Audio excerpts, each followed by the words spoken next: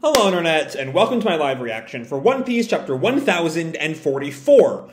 When we last left our heroes, uh, thanks to our mysterious unnamed CP0 agent uh, grabbing Luffy from behind, Kaido was able to get a direct hit on Luffy, and Luffy lost. We have the whole, you know, battle on the rooftop, Kaido versus Luffy, winner Kaido thing happened. Uh, Kaido takes out the CP0 guy in revenge for losing that that fair fight. Uh, but then he goes down. He's not going to really like dwell on that and declares victory over the Allied forces. Set, tells Momonosuke to come and be killed by him to officially end the battle. Um, um, various people, everyone reacts in various ways. Law, interestingly enough, seems to sense Luffy's voice being lost, implying that maybe Law has some connection to the voice of all things. Um, Nami protests at the idea that Luffy could lose, and she nearly takes a full-on blast breath attack from, from Kaido before being saved by Marco. Uh, meanwhile, Momo is considering surrendering to Kaido, but Yamato tells him not to, because if they surrender, all that awaits is a slower death. So let's just, you know, face our deaths with pride. And then Zunisha contacts uh, Momo, telling him that Joy Boy has is truly fully here. And we see Luffy grinning and this mysterious substance coming off of his body. And that's where we left off. So with that said, let's dive right on into chapter 1044, Warrior of Liberation. Our cover here is Germa 66's On the Motionless Excursion, Volume 8. Mama's away on her trip, begin the experiments. And we see, um, I think this is Niji and Yonji, uh, who are still strapped to the book. Um, I don't remember experimentation being a big part of, of Whole Cake, but we see a bunch of, of the Charlotte siblings with like surgical masks and gloves and knives they're gonna cut up uh, Niji and Yonji somehow, though I don't remember enough about them to know what exactly what exactly that would look like. Anyway, um, we pick up with Zunisha. it looks like, uh, still behind the, the marine ships, and someone asks, What happened to me? Why can I still stand? Even though I lost. I'm having fun for some reason. Ah! And that seems to be that seems to be coming from Luffy now that we can see him. Um, and Momo sort of freezes at, at what Zunisha revealed last week. But it does look like Luffy is conscious again um, after whatever the hell happened in last chapter's cliffhanger. And Momo reacts, Luffy is Joy Boy? And Yamato questions, is that what Zunisha is saying? Um, then we cut to the left brain tower, uh, where Sanji is still recuperating after his fight with Queen, and he just jolts awake. Uh, the the courtesan tending him reacts, "Eek, you you're awake, Sir Pirate." And Sanji also seems to hear what Luffy slash maybe Joy Boy is saying. Luffy, and then the performance floor, uh, we see everyone seems maybe can everyone hear Luffy now? In some way, like I don't know. Is Luffy just being really loud? Or is this connected to the voice of all things? Because we see Kid and Law both react. And last chapter again implied that Law might have some connection to the voice of all things. But also we have Hyogoro. Oh, is that you, Straw Hat Fellow? Uh, and Marco also hears it. Straw Hat? Hey, he's still breathing. And Nami and Tama just like hug each other or like weeping at this at this reveal. It's still unclear how they've all worked that out. Luffy's alive! Big Brother's still breathing. They're just like you know they just like can't even talk straight with through like through the tears. Um, and then we come to to Marijoa, the Hall of Power, Pangea Castle. Have we known that name before? I'm gonna check the wiki real quick, see if we've ever heard the name Pangea Castle, because that sounds new to me. Uh, Pangea, of course, is the, the, the supercontinent in, in world history before all the continents drifted apart. And I'm curious if we've ever heard the name before, because that feels like an important thing to note. But I have no memory of that name ever being said. Um, oh no, this little bit of trivia says that uh, Volume 91 has an SBS. Uh, where Oda confirms that Pangea's castle, Pangea's name obviously comes from the supercontinent. So I guess we have known that is just sort of a of a news to me kind of thing. Uh, I'm guessing this is this is where the, the, the five elders are. So we've lost an elite agent and made Kaido angry. What was the point? Uh, and and one of the, the other elders tells him, "What if I told you there was a potential future that would make us beg for this outcome? It is always better to eliminate dangerous variables." And another elder comments, "In every era, the world government has attempted to recover the gum gum fruit, and not once has it ever succeeded. For 800 years." Okay, so um that does sort of re- eliminate any remaining doubt that the gum gum fruit is the fruit they were talking about when Zunisha first showed up. Um, hmm. But also that like there was letting Luffy live would have been a worse outcome than what's happening now. At least, at least to the, to the world government, at least. Um, and then another one of the elders comments: "It is as though the devil fruit is trying to escape our grasp." And another one, and it very well might be. Zoan fruits contain a will of their own, and this particular fruit has the name of a god. Wait, is but this isn't a Zoan fruit, is it? The other name of the gum gum fruit is the Zoan type human human fruit, mythical type model Nika. Okay. Tying into to the whole thing with who's who. And we have this, the same image of Nika laughing in the or that actually might be Luffy laughing in the same sort of pose we saw when we were first introduced to the concept of Nika.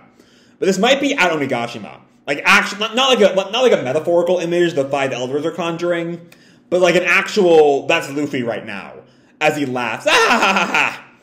Possessing a body with the properties of rubber and fighting in whatever way he fancies, bringing smiles to the faces of the people. The warrior of liberation, also known as Nika the Sun God. Awakening brings his rubbery body great, brings his rubbery body greater physical strength and freedom. It is said that in all the world, there is no power more ridiculous. Okay, um, all right. So, damn. all right. Um, one of those moments that changes changes everything. I think is, willing to. We're. I think we can say. So, Nika. Nika, without a devil fruit, had a rubber body. That's what the, I'm trying. I'm trying to like get to like the more more nitty gritty stuff first. Um, just like naturally. So, what kind of person was Nika? Or was Nika real? You know, they call him a god, which might imply he's he's not just some guy who once existed. But the Zoan fruit, Zoan type fruits tend to take after species, not people. But if Nika is just a person, what does that mean for what devil fruits are? Right? You know, it's one thing for, for a devil fruit to give you the powers of of you know a, a, human like like isn't isn't the human human fruit um, chopper's fruit anyway do, do i have that right that, that sounds right to me uh, let me do a quick the quickest of, of searches um, um, yeah yeah he has chopper is the one with the, the baseline human human fruit and humans are a species. It's one thing for a fruit to give you the properties of a human, or of a leopard, or of a, of a brontosaurus, or whatever. It's another thing for it to give you the properties of a particular person. So what does that mean about what the devil fruits are? You know, in, in a broader, broader sense, what are devil fruits? I don't know. It's one of those reveals that kind of changes everything. Um, I mean, obviously, the fact that it, that it's not the gum gum fruit at all, of course, changes everything. But like, I don't know. Like the implications are so vast here. I haven't even gotten into, you know, I, I've seen some complaints um, as this as this twist is sort of built up. The idea that like giving Luffy this all important fruit kind of diminishes the fact that Luffy is just some guy, and the way that like Naruto and Sasuke being the reincarnations of of Indra and Ashura kind of, you know, um, belittle, especially in Naruto's case, belittle the kind of, of hard work ethic that the show sort of promoted before that. And I don't know, I, I can sort of see that being a thing here, but also the hard work, the whole like coming from nothing thing is not as big a thing in One Piece as it was in Naruto. I mean, even Luffy as like a famous admiral for a grandfather, the leader of the revolutionaries for a father, he's not some coming from nothing kind of guy. So it doesn't bother me as much here, I think.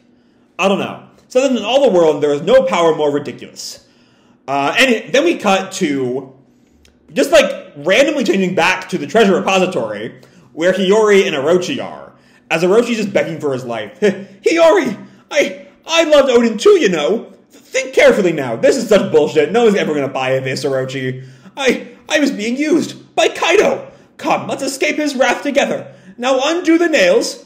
After you have kicked dirt upon um uh, and and then Orochi counters, after you have kicked dirt upon every samurai to whom you owed a debt, who do you expect will listen to you now?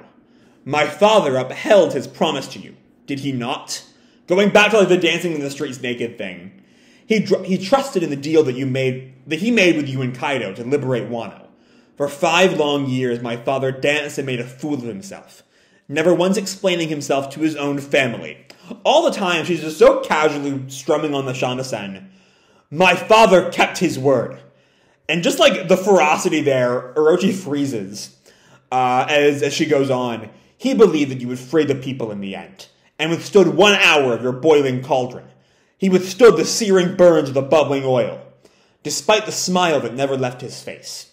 He bore your torments all alone, because the entire country was taken hostage. His suffering was unimaginable. She's just like we can even see her like trembling with rage as she relates this back to Orochi. Uh, and she, we we move into flashback as I'm assuming Orochi asks, "What's the matter, Hiyori?" And Hiyori asks, Doesn't it feel bad when everybody says mean things about you, father?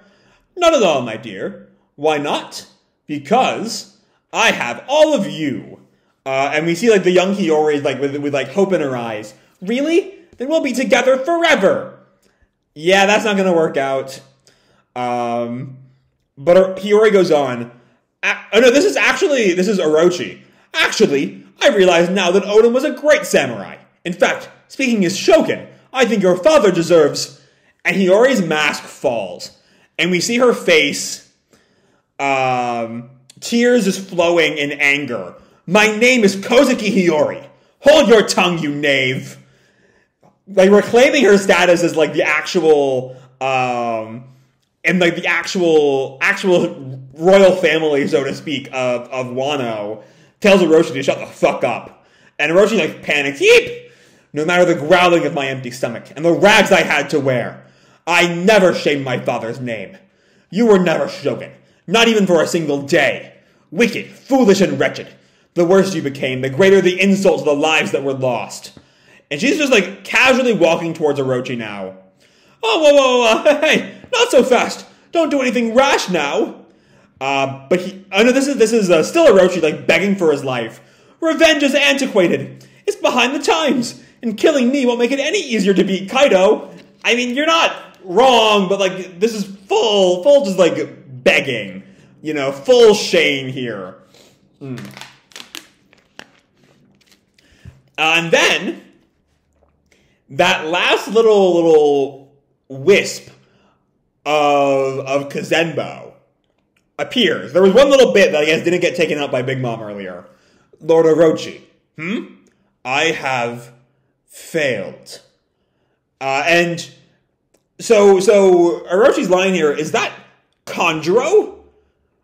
Okay, so I guess did Kanjuro like put his soul into Kazenbo? Is that what happened?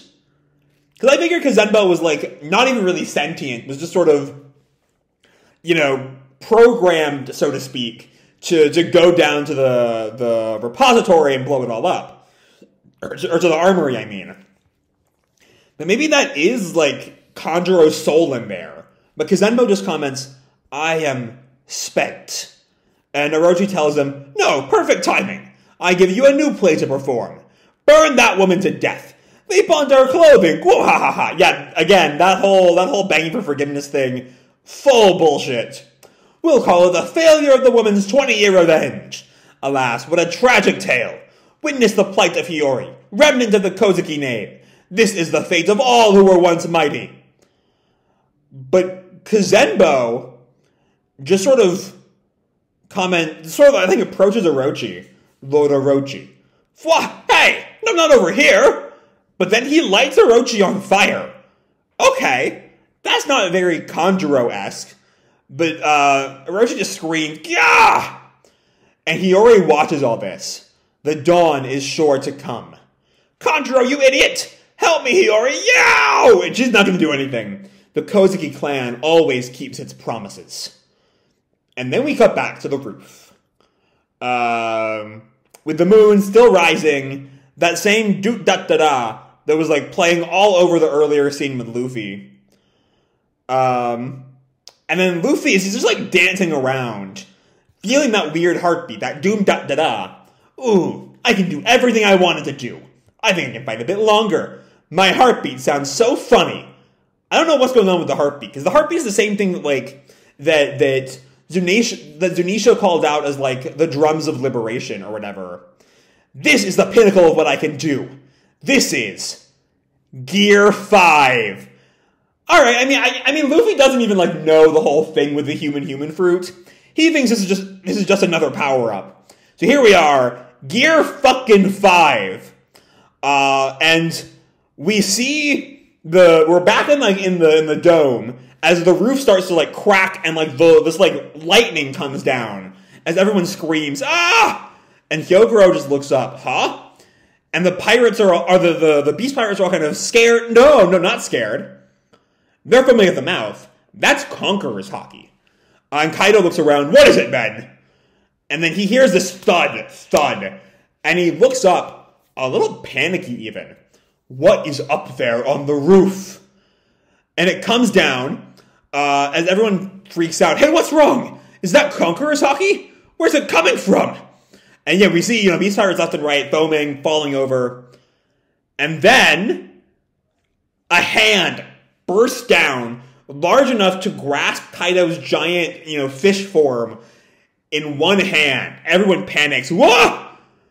And everyone can tell, and you know, we see we see Law acknowledge that uh, Kid questions Straw Hat, and Choppers is wailing. Is that Luffy? And we see Luffy's grin, still with that weird slimy substance falling down his face. And he pulls Kaido up through through the hole in the roof. Kaido's like so panicked, his eyes, like has like the, the cartoon like eyes are are still where he was a, a second ago. As as the non as like the conscious beast pirates all react. Um, Kaido and Luffy just pulls Kaido out through out onto the roof again.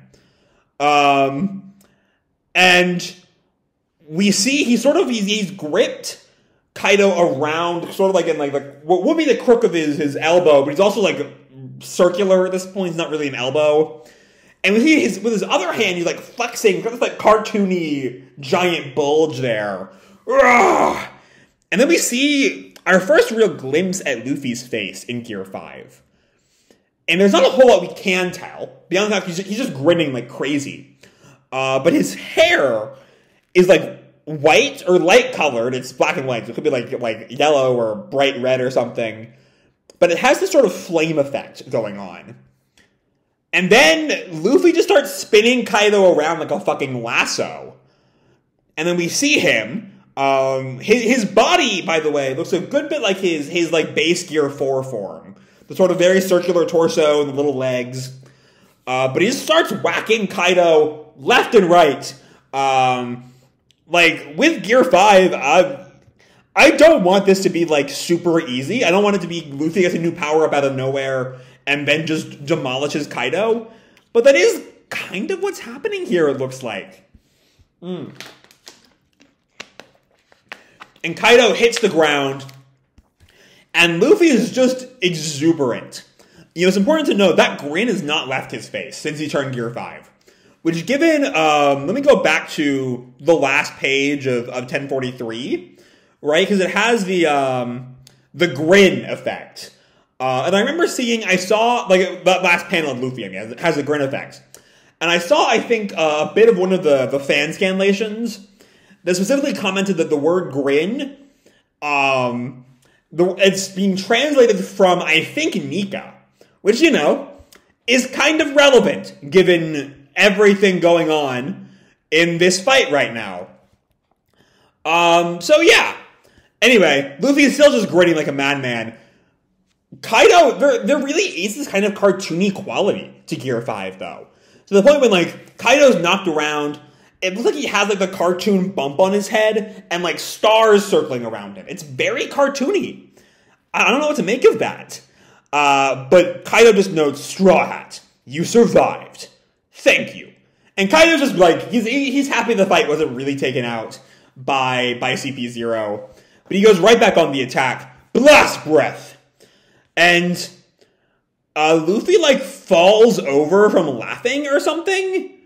Ah, huh? And he gets back up, and his eyes also do that same cartoony shock thing that Kaido did earlier like something about Luffy's new form is like fucking around with physics like this. I don't know.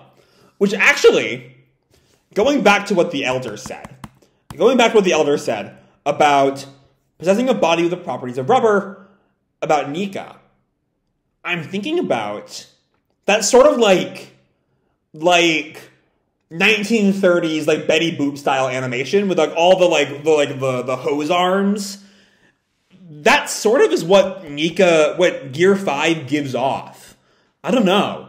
Um, but Luffy sees the blast breath approaching him in this like mock panic, and he grabs the ground below him and pulls the ground up to deflect the blast breath. Uh, go! And it does reflect right back at Kaido, hits him full on, and we see Luffy still just laughing like a madman. Ah, yeah, yeah, yeah as we see the titular Gear 5 appearing b- below Luffy. Uh, and Kaido, still alive, tells Luffy, I'm sorry about that idiot earlier. I didn't want to win that way. And Luffy tells him, Don't sweat it. Let's finish this up. To be continued. Okay, uh, so no hiatus next week. We are back next Sunday. Um, but God, where do I begin with this chapter? Where do I where do I start?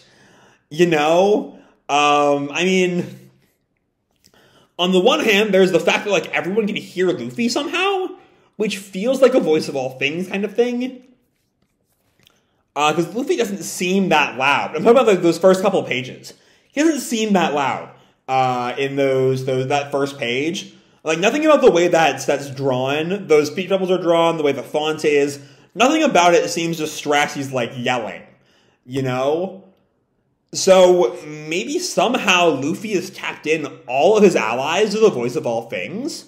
Like Kaido clearly doesn't know yet because everyone else is clearly aware that it's Luffy. Hyogoro is like, "Is that you, Straw Hat fellow?" Sanji is clearly aware of it as Luffy. Marco, Nami, Tama. We can presume Kid in Law though they don't quite say anything, but Kaido clearly doesn't. He still questions on page uh, page eleven what is up there on the roof. And he doesn't realize that Luffy is alive until, or doesn't have time to like comment on it until page 15 with Straw Hat, you survived. Um, he maybe realizes it once Luffy grabs him, but still, he doesn't know it till he sees Luffy, is my thing. So that's all sort of really, really interesting. I don't know what the hell is going on with Gear 5. You know, Gear 5 is just so sudden, so it's so it's just a really sudden development there. I don't quite know what to make of it. I don't know. I mean, it's important from like a lore standpoint. There's no way we're not going to get to the bottom of what exactly is going on with Nika now that we know that like that's the fruit that Luffy ate way back at the beginning. Other question that raises though: Did Shanks know that? Did Shanks know was his mythical fruit, or did he think it was just some random paramecia? Um, I don't know. I, have to go to a go back to like that first chapter again. Though also it's perfectly possible Oda did not have this planned out in chapter one. Um, but like, I don't know. I, I just don't know. What do we make? What, I'm curious what, what everyone else is thinking about the Nika thing, because again, I, haven't seen the sort sorts of like, sort of like complaints of the idea that like it's important that Luffy has this real minor devil fruit and it doesn't bother me. Like like I said, it's it's not quite akin to the like So the Indra and Ashura twist in Naruto, which really felt like it came out of left field and like it sort of went against the themes of the earlier parts of the series. Um, and this doesn't seem to be as opposed to that. Because, uh, like, Luffy was never this, like, come from nothing guy. I, not, at least not in my opinion. Not after we found out about Dragon and Garp. Um, but yeah, then, like, the fights, just, it's so cartoony. I'm, I'm really curious what everyone else is thinking about that. Because it really does feel like we moved into a whole different kind of story. You know, even with, like, like I mentioned the, the eyes following Kaido as he's pulled up onto the roof and with Luffy when he's like shocked about the blast breath coming towards him, but also when when Luffy is spinning Kaido around like a rope, you can see the eyes are like also sort of following Kaido. It's a real interesting transition there. I don't really know what to make of it. Um, I don't know. Gear five is a thing now. Uh, also, there's there's a Hiyori bit. The Hiyori bit is really good, even if Kazenbo burning uh, Orochi is a little weird. I don't really know what's going on with that. And then it's tied with that Hiyori line the Kozuki clan always keeps its promises. What promise is she referring to? I'm not sure. Um, because I mean, possibly, if you count Kanjuro, even even as part of the act, as one of Oden's retainers, maybe that counts as him being in the the Kozuki clan, and maybe therefore, even if he like mockingly, even if he intending to be a lie, swore allegiance to the Kozuki, maybe there's something about the Kozuki clan that binds him to that. It doesn't make much sense from a practical standpoint, but maybe that's what's going on there. I don't know. Maybe maybe he's, he's just like got a little bit of, of uh, life left. Like he's not very like smart. He's just a little bit of consciousness in Kazenbo. And so he doesn't really have the intelligence to listen to, to Orochi. He just goes to his master again. It might be as simple as that. Either way, I think that really is the final end of Orochi for good this time. Though he's had about three or four final ends before this now. This feels like it's it. Um, I don't know though. But yeah, then we have Gear 5. And Luffy's just fucking giggling. I don't fucking know. I don't fucking know what we're doing with Gear 5. Uh, but I can't wait to find out because this really is just one of those, you know, nothing is the same anymore kind of chapters. That's just, it's just kind of exhilarating to, to witness in real time. Um, so I can't wait to see how all this plays out. But with that said, I'm going to leave this video off here. Hope you'll enjoy the chapter and the video itself. If you did, feel free to drop me a like or subscribe. You know, do whatever makes you happy, you know? And as always, your life is your own, okay? Bye!